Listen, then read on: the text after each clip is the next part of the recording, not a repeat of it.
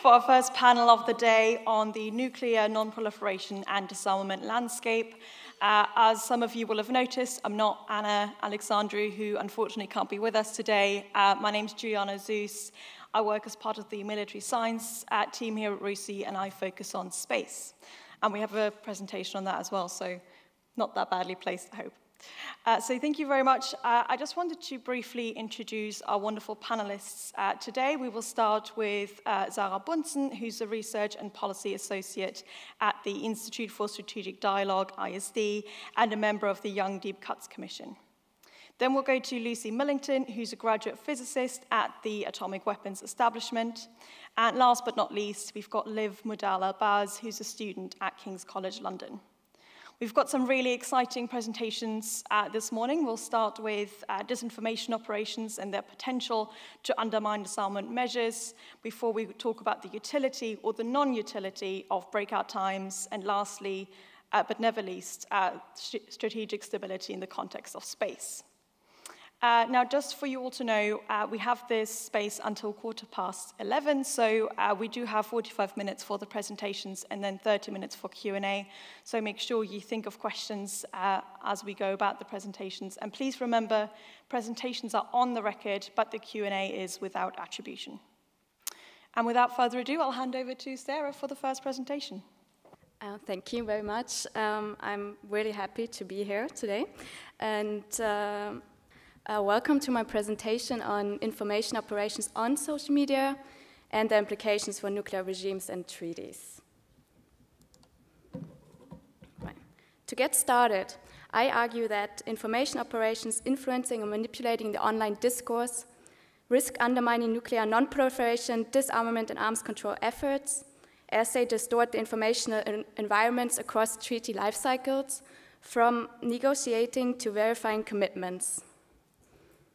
I want to note that this is a developing research space with little data or academic research on the nexus between online information environments and nuclear issues. For this presentation, I reviewed recent studies on the use of social media for information manipulation, and I also conducted a qualitative narrative analysis on Twitter. And here I focused on Russian, Chinese, and Iranian accounts, given those countries' interests and strategic use of the informational domain. Drawing from my findings, I will conclude with formulating recommendations to NATO allies' intelligence communities, as well as strategic communication teams. To give a bit of a conceptual background, this presentation considers information operations as referring to overt and covert techniques for influencing events and behavior of foreign countries. So, such efforts are rooted in Soviet active measures, which also involve the overt distortion of the information environment through officially sponsored foreign channels and cultural diplomacy. Active measures also thought to deceive or distort the target's perception of reality. In brief, information operations and their aims are not new, but actors' techniques and messages are updated for the digitally interconnected global information ecosystem.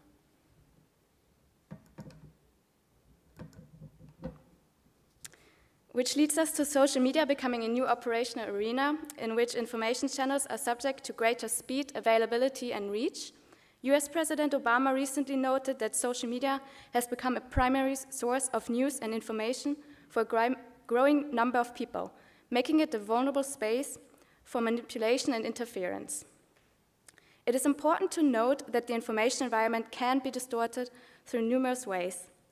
Dr. Claire Wardle proposes seven forms of, the, of information disorder, as seen here on the right, to explain the complexity of this ecosystem. For example, clickbait headlines, false context, misleading or completely fabricated content can subvert how we consume information. Wardle emphasizes that anything with a kernel of truth is far more successful in terms of persuading and engaging people. And as we will see shortly, this is a particularly important observation. Coming to the narrative analysis, this presentation looks at Chinese, Russian, and Iranian official government accounts on Twitter. I want to mention that information operations may involve plenty of other actors, including state-owned media outlets and influencers and community, uh, conspiracy communities. Twitter is also just one of various platforms used for targeting international audiences. As an indication of the relevance of Twitter, the two graphics on the right show an uptick of Chinese and Iranian government accounts. The Oxford Internet Inter Institute found how, with the beginning of the pandemic, Chinese diplomats increasingly used Twitter for public diplomacy efforts. The Atlantic Council tracked an increase of Iranian government accounts with an account creation spike in mid 2018, aligning with the US withdrawal from the Iran nuclear deal.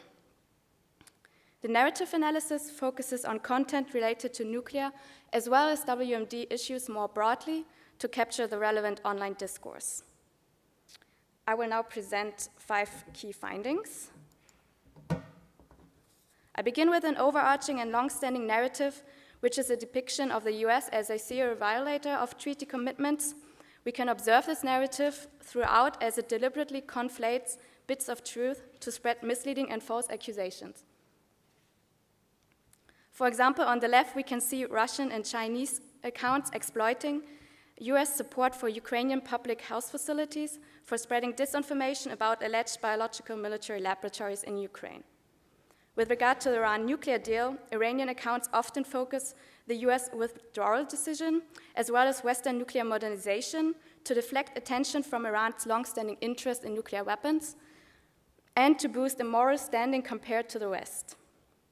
Similarly, Chinese accounts have attacked the AUKUS partnership to denounce Western leadership in the area of nuclear nonproliferation and accuse the West of double standards in alleged arms race and contempt of international law.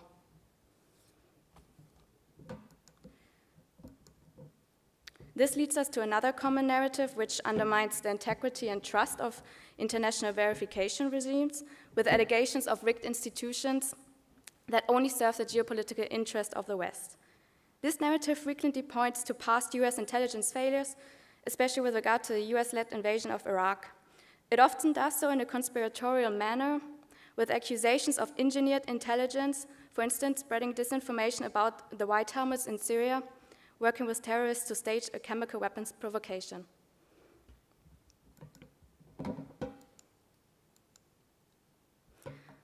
Official accounts, especially Russian government accounts, complement accusations by misusing photos and videos, including misstating, misidentifying, or modifying satellite imagery. Manipulation is used to conduct false fact checking and debunking of alleged Western fake news. For, for, example, the Kremlin denies chemical attacks perpetrated in Syria.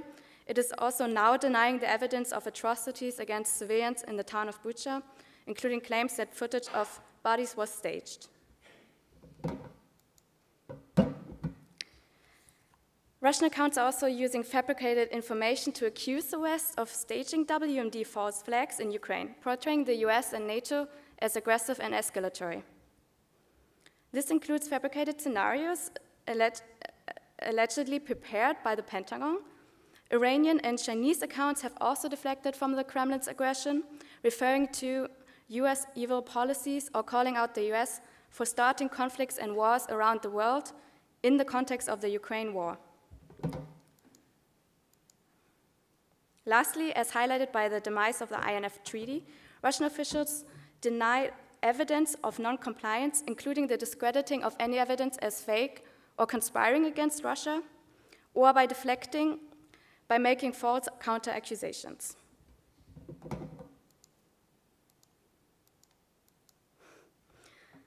And to, to wrap up, the findings point to a contested online information environment, with Twitter being used as a foreign policy tool of people to people diplomacy, which seeks to distort the discourse on nuclear and WMD issues. This includes communication, official communications, alongside seemingly informal reflections from high level officials.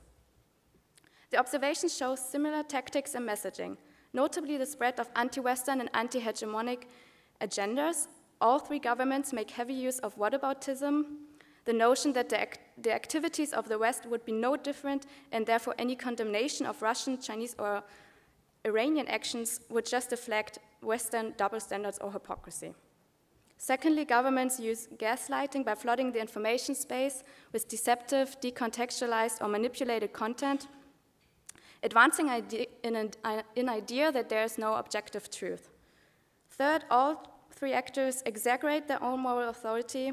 For example, narratives appropriate international norm building, such as creating an alleged consensus among the international community to elevate their status and vilify the US.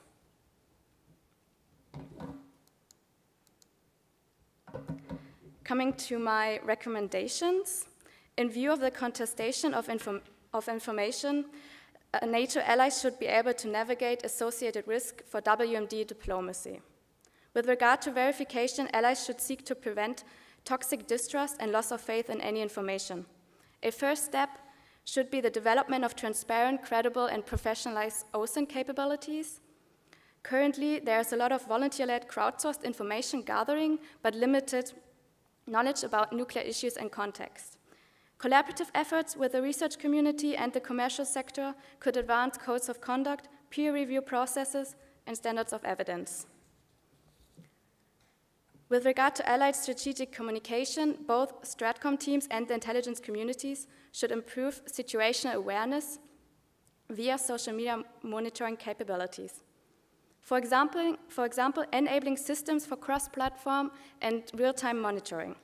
Such efforts should help to detect patterns of tactics and messages to anticipate communication needs. Further, to avoid a debunking backlash, Stratcom should enforce clear policies to communicate transparent and factual information early on. This is to say that counter-narrative strategies and just revealing something is false or misleading often end up drawing attention to it or giving a narrative more oxygen. Lastly, in view of the complexity and much needed nuance of the, of the topic, allies should embrace a whole of government approach rooted in building societal resilience this effort should focus digital literacy, better public knowledge about nuclear issues, and the inclusion of more diverse voices in nuclear debates overall.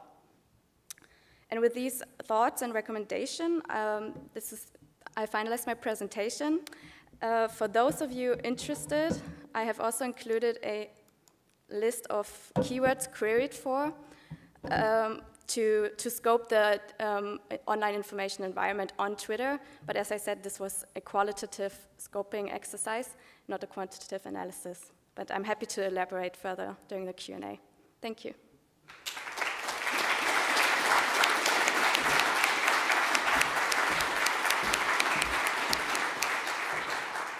Thank you for that, Sara, and for, I think, unraveling the, the phenomenon of Twitter diplomacy that we've seen in the past couple of years. Uh, we'll go to Lucy next.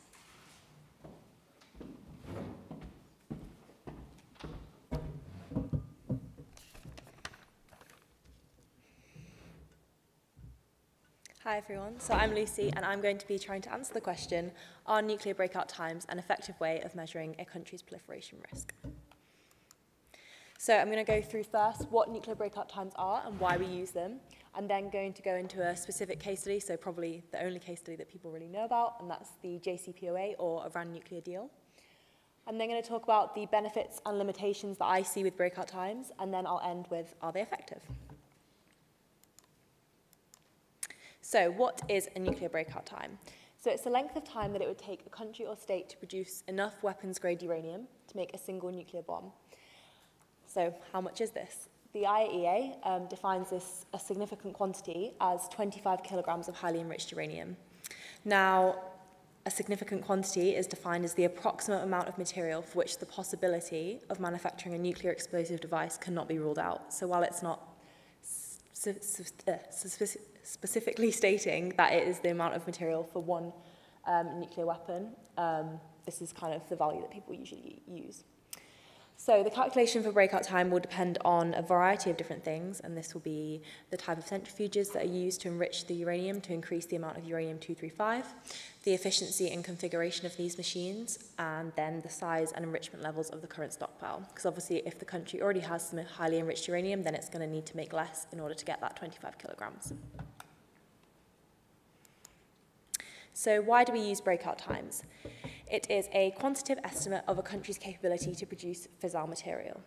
So it's kind of a barometer of the time that it would take a country to produce a nuclear weapon and then an indication of whether the diplomatic progress um, is good enough in order to, pre to prevent that possibility.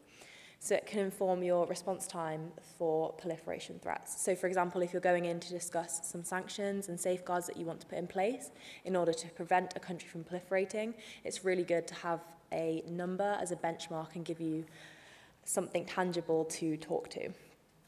Um, but it is important to ensure that they are right and that they're used in the right context if you're using them for these discussions. So now on to Iran, which is, if you Google breakout times, you'll basically only find stuff about Iran as that is the biggest thing going on in the world right now in terms of nuclear breakout. So Iran has signed the Non-Proliferation Treaty, under which it is not recognized as a nuclear weapon state. So this means that it should not be acquiring um, nuclear material for anything other than peaceful purposes. So it's well within its rights to enrich uranium up to 3.67%, which is the limit for peaceful uses, so for nuclear power, etc. Um, however, in 2002, some clandestine nuclear facilities were discovered. Um, and then in 2015, the IAEA's Possible Military Dimensions report concluded that Iran had carried out a range of activities um, relevant to the development of a nuclear explosive device. So they said they found up to 2003 there was a structured nuclear program in Iran, and then between 2003 and 2009 it was sort of continued in a dispersed fashion. So Iran had broken its commitments under the NPT, and this is what led on to the Iran nuclear deal. So, the Joint Comprehensive Plan of Action, or the Iran nuclear deal, is an agreement that was reached by Iran and the P5 plus one on the 14th of July 2015, and it was then implemented the year after. Um, the P5 plus one, um, it's Russia, the US, France, China, the UK, and then the plus one is Germany. Um, and under this agreement, Iran agreed to limit its sensitive nuclear activities and allow international inspectors in to monitor them. Um, and in exchange for this, some of the economic sanctions that had been placed on Iran were lifted. So Iran actually lost $118 billion in oil revenue between 2012 and 2016. So you can see why they would have been keen to get in on the deal.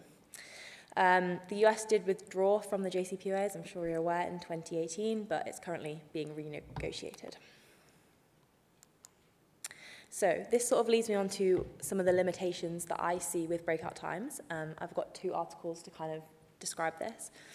Um, and it's to do with the way that breakout times are communicated. So the article on the left is from Reuters, and it says Israel sees six-month Iran nuclear breakout longer than Blinken projection. So, as you know, Antony Blinken is the US Secretary of State. So, it's talking about the breakout times that were stated by Israel and the US at the same time. So Israel was saying the breakout time is six months, and the article goes on to say that the US or the Blinken projection is three months. So two completely different breakout times being given at the same point in time. Um, so this is one of the issues, is there isn't a standard calculation for breakout times. It is kind of a bit open to interpretation. Technically, if you have the right access to data, then if you're calculating and putting in the same factors, you should get the same number. But it is quite clear when you start looking into it that politics does come into play in the calculation that you would think is purely scientific. Um, so obviously, if you're going into discussions about sanctions and safeguards, it, it is a bit of an issue if different countries are predicting different values and different timescales. Then on the right, I have an article from the Times of Israel, and that says, White House says Iran is a few weeks or less from bomb breakout. And this is another issue I see with breakout times, is that they can be miscommunicated and potentially used for fear-mongering. So it's quite a statement title. And if I didn't know anything about breakout times, I would probably think that meant that Iran was a few weeks or less from having a whole nuclear weapon, whereas that's not what nuclear breakout times are talking about. It's talking about how close they are to having the material to produce a nuclear weapon. So I think if miscommunicated, it can cause problems and it can be quite scary if you don't know um, and you don't have the context for it. So on to a sort of summary of the pros and cons I see with breakouts. So on the pro side, it is useful to have a benchmark. If you're going into discussions, it's really good to have something that you can talk to and something that you can base your discussions around. Um, the quantities taken into account are mostly easy to estimate. So if you have the right access to the data and you have the right data, then all of the values such as the amount of nuclear material they have, the number of centuries they have, are all quite easy to estimate and it should be quite a simple calculation in theory. Um, producing enough weapons grade material is a significant step in producing a weapon. So although, as I said, breakout times don't take into account the whole process of producing a weapon. Having the nuclear material is a huge step. If you don't have that, then you're not going to have a weapon. So it is significant. And my final pro is what is the alternative, which is something that I did start looking into. Um, when you start researching it, it, it can be quite hard to incorporate other factors into the equation because um, they're not necessarily quantitative. So what is the alternative and have we got the best solution already? Then on the con side, it is a measure of technical capability and not intent. So just because a country can produce a nuclear weapon, it doesn't mean that they will. A good example of this is Japan. So Japan have good nuclear technology. I imagine if you calculate their breakout time, I did try and Google it and not much came up. Um, but clearly that shows that we're not concerned about Japan. Um, I imagine their breakout time would be reasonably short, but that doesn't necessarily mean anything. We're not concerned about Japan proliferating. Um, so just because, say, two countries have a breakout time of three months, it doesn't mean that they're equally likely to break out. So just taking that value of three months on its own or whatever, how many months, it doesn't mean anything by itself, and that's why you need to put it into context. There is no inclusion of other aspects of weapons development, so as I said, it doesn't include any of the other parts of the process that go into producing a weapon, the explosive technology and all the other things that go into it. Um, it can be politicized and used for fear-mongering, as I showed on the Times of Israel article. Um, the headlines that come with it can be quite scary, and if miscommunicated, it can cause problems. And also the calculation greatly depends on the input data. So if you don't have the right access to data, then you're making estimations, and that can cause quite large variations in the result that you get. So to sort of bring everything together, are nuclear breakout times an effective way of measuring a country's proliferation risk? So proliferation risk or threat is sort of made up of three parts. So capability, intent, and opportunity. Breakout times can tell you a little bit about a country's capability. They can't really tell you anything about their intent, and they can't really tell you about the opportunity that they have. So it's not the whole picture by itself. And this is why I say it is a useful tool, but only effective when contextualized. Breakout times do not take into account the variety of other factors that will also influence proliferation risk, for example, politics. Um, and also the result is highly dependent on the accuracy of the input data. Um, and I think also you have to ask yourself, why do we want a more accurate breakout time? So when you're looking at how they're used, they're used in order to drive political action and to make sure that states and countries put in place appropriate sanctions and safeguards in order to prevent proliferation.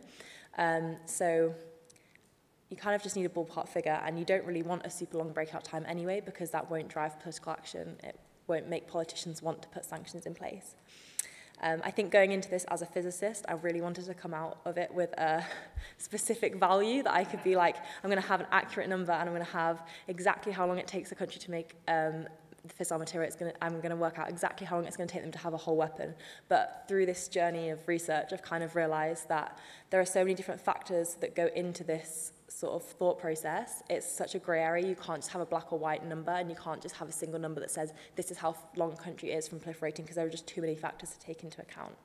Um, so it has been interesting, um, but I didn't necessarily get to a single value like I wanted to, but that's okay. um, so thank you so much for listening and I'll have you to take questions in a minute.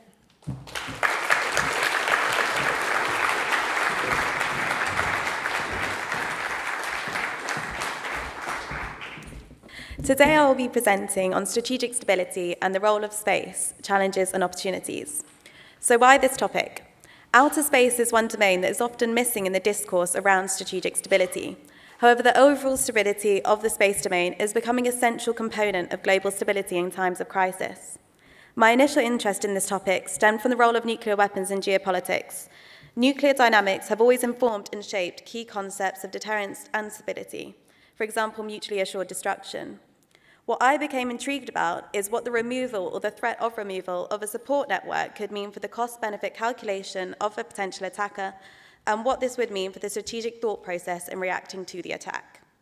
Whilst there exists a whole array of kinetic and non-kinetic capabilities which threaten space assets, this presentation considers the threat of cyber attacks against ISR systems, specifically early warning satellites.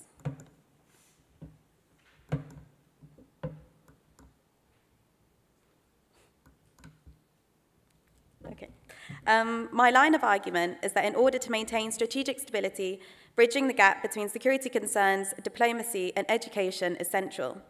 This presentation will cover an overview of my research, beginning, beginning with brief definitions of key terms and context, before moving on to focus on the key challenges of cyber threats, to early warning signals, and the opportunities provided through policy. Um, from my research, I found that all too often, key terminology was not consistently used and was creating, if you like, extra noise in an already complex domain. Strategic stability means different things for different states, and the definition of strategic stability is a contested subject. Its, or its origins date back to the Cold War, and it was typically associated with maintaining a survivable nuclear second strike capability. The definition has become broader, as reflected in the Nuclear Posture Review of the US, to include non-nuclear capabilities such as advanced conventional weapons, emerging technology, especially cyber capabilities, as factors affecting crisis stability and arms race stability. One key point I'd like to emphasize is that space has always been a militarized domain and that threats against satellites are not a new phenomenon. Ever since the placing in orbit of the first satellite in 1957, techniques have persistently been pursued to harm or interrupt or compromise their services. So what is strategic stability in the context of space, and what has changed? The concept of dual-use systems is contested and will be understood as used by both nuclear and non-nuclear forces and military and civilian operators. Systems linked to command and control are also important for tactical and strategic operations. There is no definition between the two, making entanglement a key risk. What has also changed is the increase in the number of satellites in space and the increased and divergent number of actors operating in space. As everyone in this room will know, there are multiple challenges around strategic stability in satellites. However, the main one I'll be focusing on is cyber attacks. Cyber attacks are notoriously difficult to attribute, with false flag operations commonly used and connections between apparently non-state actors and national governments difficult to establish. Tools of cyberware are largely non-physical and therefore easier to conceal than conventional forces, making it difficult for actors to assess each other's capabilities.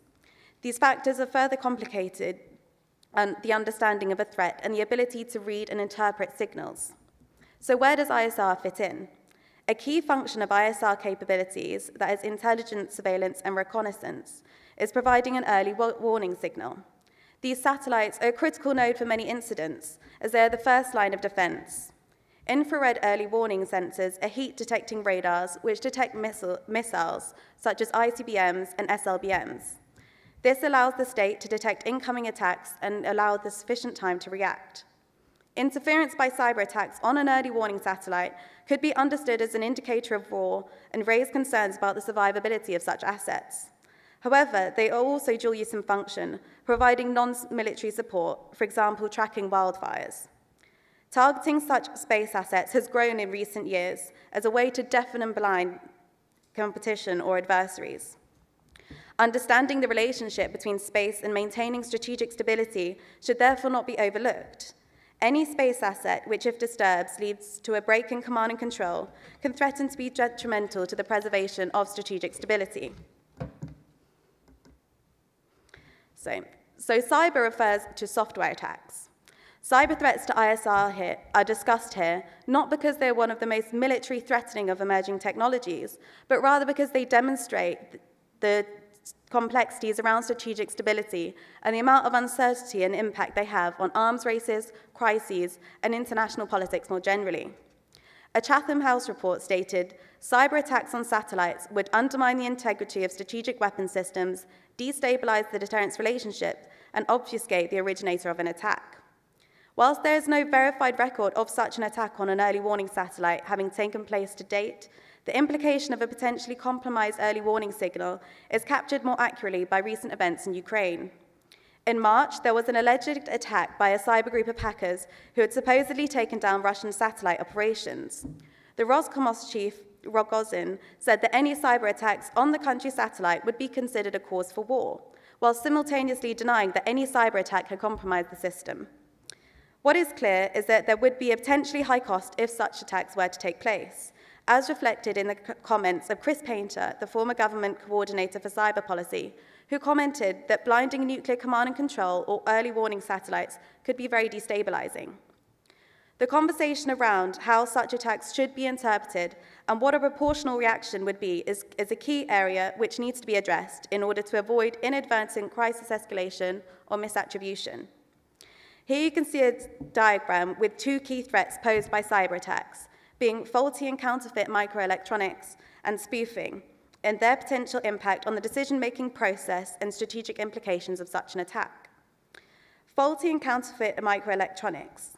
The technology used for space assets is often bought off the shelf. Just as with all electronic devices, there could be a backdoor present in one of the many thousands of components in a single satellite, allowing cyber attacks hidden access. Such backdoors have already been found in Russian software packages and Chinese electronics used by aerospace, US aerospace companies. Spoofing. This is the manipulation of information being exchanged in communication, which reduces the integrity of data collected. Spoofing goes beyond jamming to distort or replace the signal with a false signal. Policy influencers and policymakers are struggling to grasp the full impact of cyber vulnerabilities in the context of both space-based assets and strategic systems. It is difficult to measure or predict the exact extent of such attacks, since they could also allow for follow-up attacks on other vectors. So what could be compromised from these attacks? Interference to the early warning signal could lead to faulty assessments and faulty responses to threats. Decision makers may not be able to send necessary orders down chains of command. There may be loss of situational awareness also contributing to faulty decision making. And decisions based on faulty information may lead to a trigger or crisis escalation or decrease the threshold for a conflict.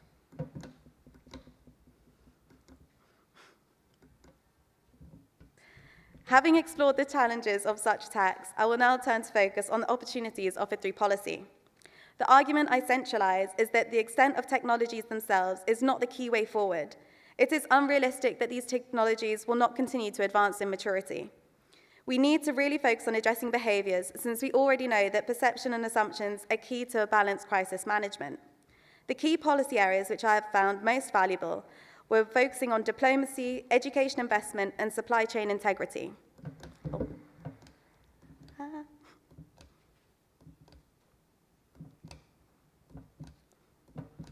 Okay.